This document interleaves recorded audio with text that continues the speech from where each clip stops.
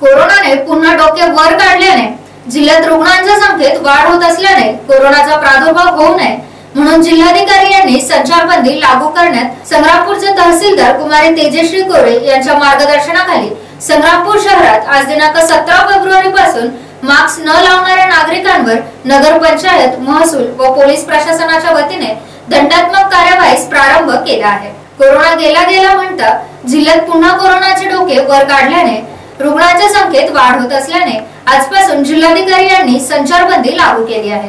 त्यामुळे संग्रामपूर तालुक्यात कोरोनाचा प्रादुर्भाव होऊ नये म्हणून तहसीलदार कुमारी तेजश्री कोरे यांनी संग्रामपूर तहसील कार्यालयात काल कोरोनाबाबत सभा घेऊन सभेत कोरोनाबाबत उपाययोजना व प्रतिबंध कशा प्रकारे करावा याबाबत माहिती देऊन मार्गदर्शन केले व सूचना दिल्या. सभेसाठी नायब तहसीलदार विजय चव्हाण प्रभारी तालुका आरोग्य अधिकारी तथा वैद्यकीय अधिकारी डॉक्टर रोजतकर गटविकास अधिकारी व पोलीस विभागाचे प्रतिनिधी नगरपंचायतचे शरद कोल्हे उपस्थित होते. त्यानंतर मंडळ अधिकारी तलाठी यांची सभा घेतली व त्यांना सूचना दिल्या. त्यानंतर दिनांक सतरा फेब्रुवारी रोजी दुपारी संग्रामपूर शहरात नगरपंचायत महसूल व पोलीस प्रशासनाच्या वतीने नगरपंचायतचे शरद कोल्हे गोरे व कर्मचारी तसेच तलाठी विनोद पिसे पोलीस कर्मचारी व सहकारी यांनी दंडात्मक कार्यवाही केली.